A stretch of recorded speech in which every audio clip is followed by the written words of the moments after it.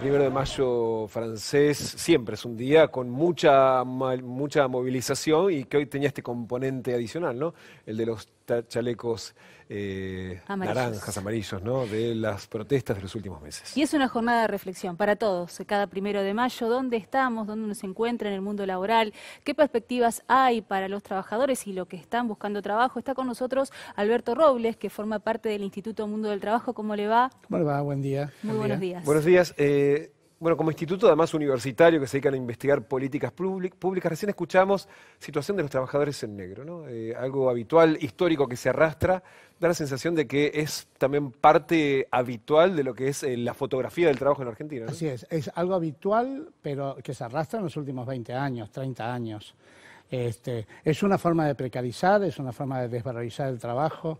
El trabajador en negro, este, uno lo ve en los ojos porque el trabajador en negro es un trabajador que no tiene jubilación y por lo tanto no tiene futuro, no tiene salud, está muy desprotegido, tiende a mirar hacia abajo. No sé si uno, uno cuando ve un, chico, un joven que acaba de conseguir el, registro, le cambia la mirada, es otra actitud, hay, hay una cuestión de orgullo. Es muy importante, esa, esa lucha es muy importante y medio que no sé si la vamos ganando. Y la otra cara de la moneda es eh, cuánta gente de, muchos años en el mundo del trabajo se queda sin su fuente laboral.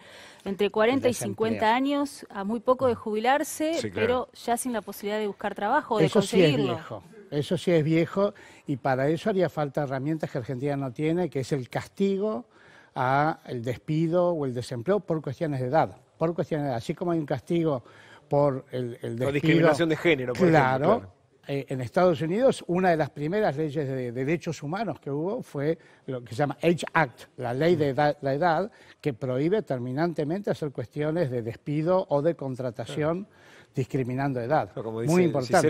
Eh, esa persona que supera los 50 años, después reinsertarse en el mercado laboral es prácticamente esa imposible. Esa persona no se va a jubilar y por lo tanto va a terminar, si, si, es, si está en los sectores más bajos, va, a terminar en la calle, va a terminar viviendo en la calle y después uno se pregunta por qué. Eh, un dato que tiene que ver con una cuestión política. Ayer hubo paro, actos y hoy, hoy una medida de protesta distinta de otro sector. El movimiento sindical dividido habla de una situación también complicada hacia adentro, ¿no? De la representación. Sí, ya hace varios años, ¿no? Que hay dos dos grandes alas del movimiento sindical, una más combativa y una más negociadora. Es, hay algo de tradicional. No está tan dividido porque la CGT está unida y se mantiene unida, a pesar de que un sector declaró la huelga y otro sector no. El sector que conduce a la CGT no declaró la huelga. Pero me parece ayer fue muy criticado desde el acto de Plaza de Mayo, ¿no? Al sector que este, no participó en No, No, sí, bueno, por supuesto. Pero bueno, son criterios diferentes.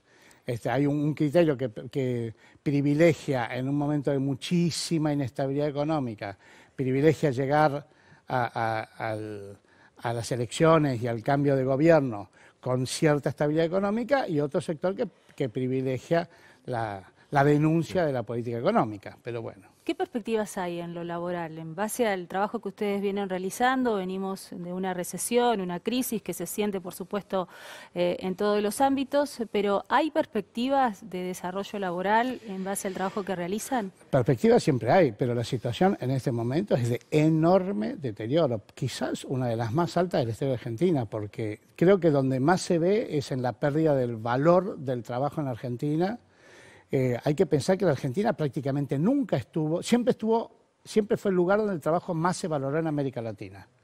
Y en este momento estamos en sexto o séptimo lugar, es decir, estamos debajo de países como Bolivia o como Perú. ¿Y cómo se revierte eso? Con trabajo, con empleo, con industria, básicamente, porque eh, industria y la industria genera servicios y la industria de los servicios es lo que provee trabajo para el 80% de la población. Este, por supuesto que la producción agropecuaria en Argentina es muy importante, pero en cantidad de empleo es pequeña, no, no más de un millón de personas, un millón y medio. Alberto, te agradecemos muchísimo. Perfecto, un ¿eh? placer. ¿eh?